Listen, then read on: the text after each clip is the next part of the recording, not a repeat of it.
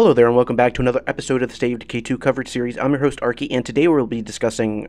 Okay, I tried to go as fast as I could. I wanted to see how fast we could get through the intro. Uh, let's re-roll that. Hello there, and welcome to another episode of the State of Decay 2 coverage series. I'm your host, Arky. So, as many long-time fans of the franchise know, State of Decay is known for its awesome starter characters. So, as it has turned into tradition, we are going to take a look at the State of Decay 2 starter characters and look at their backstories and traits. Also discuss how this system will work. Alright, so to begin, as we covered almost one year ago, we learned that the game will begin around a military refugee camp. And from the character selection screen, we can confirm this by reading the duo's character bios. Before we look at these, let me add that the intro to State of Decay 2 is actually very surprising and innovative. Adding the choice to choose between these narrative-based character matchups is really cool. Each character duo has some sort of relation to each other, which on one hand makes the selection of your starter character more personal, but also adds a level of replayability to the starting act of State of Decay 2. And with that, let's take a look at the first character duo. So these two characters' names are Greg and Michael, and their tagline is Old Buddies. The description for these characters are pretty interesting, so let's take a look. You have been bailing your oldest friend out of trouble since middle school, and even though you're reasonably certain he did not cause the apocalypse, he hasn't exactly been helpful since it started. Luckily, an army refugee camp up ahead offers the promise of safety and a hot meal. The clock is ticking for your old pal to mess it up. So this is a very interesting dynamic, and I think a lot of people might go with these two, just to get a buddy dynamic within their starting hours. One thing that worries me about these two are the chances of your buddy maybe doing things that could lead to the community's downfall. But if we do take a look at their stats,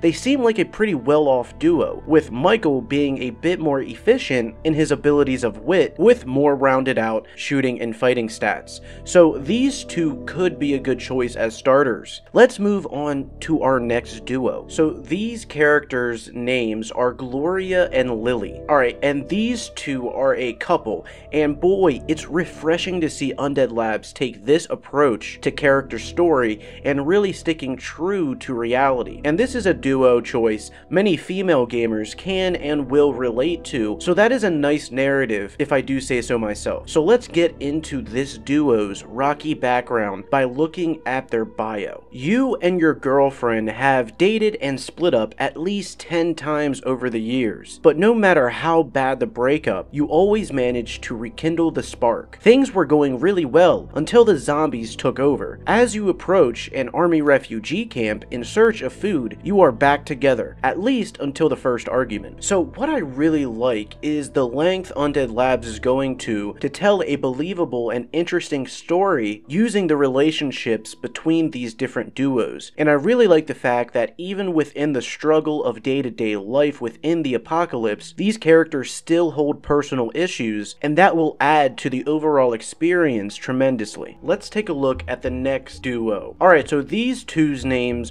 are Hobson and Sean. So these two's tagline is Shirley Siblings, and their bio goes as Months after the apocalypse, you reunited with your estranged brother Since then, the two of you have strayed one step ahead of the zombies and starvation. But now supplies are running low. But luckily, your brother learned of an army-run refugee camp where you hope to find food and shelter, as long as you remember to share like Mama taught you. I really like the idea of a brother and sister duo, being that sibling banter can always add a bright twist to such a dark and gloomy scenario. So I really like these two, especially Hobson, being that her cardio is up there with the best of them, and that will come in handy on some of your first outings for supplies, because you may have to do a bit of dodging and running to stay alive. Sean doesn't seem like a very useful character at first, but he seems like a good character to grow attached to by enhancing his skills and seeing him become a mainstay within the community. His mechanic ability will also come in handy quite a bit when looking at your base facility needs. So I would say that these two are a safe bet, so they're well worth looking into possibly using as your starter characters. Okay, so now for our last starter duo. Their names are Brandon and Rose. Their tagline is odd couple, and their bio goes, if not for zombies, you would have never found love. The two of you met in the woods, survivors from different worlds, with no homes to go back to. Though your roads might never have crossed, you are now inseparable. As you approach an army refugee camp, you hope the same apocalypse that brought you together doesn't tear you apart.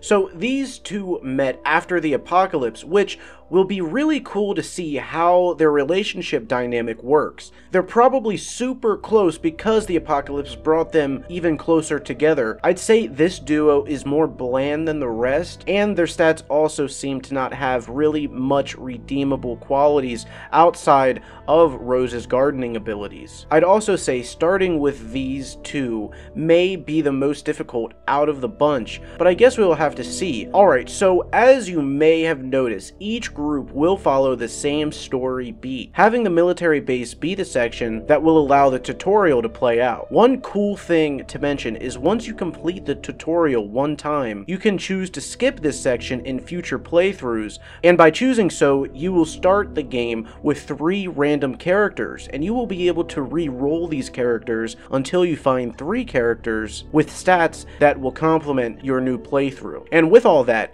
which of these duos are you most likely to choose? Please let me know in the comments. Also, explain why you want to choose said duo. For me personally, I think I may go with the Shirley siblings, as I like the narrative, but hey, that's just me. What do you think? Also, if you liked today's video, leave a like, and if you're new to the channel, don't forget to subscribe. We also have our Project DK, which is a community-driven effort to create the ultimate State of Decay 2 survival guide. You can join us on Project Project DK's Xbox Club or on the Gamescast Live Discord. Links to those will be in the description. But with all that said, as always, I love you guys, and I'll catch you in the next one. Peace. Here we go now. Hey, everybody. Hey, hey, everybody. Open up. Stay of decay. True.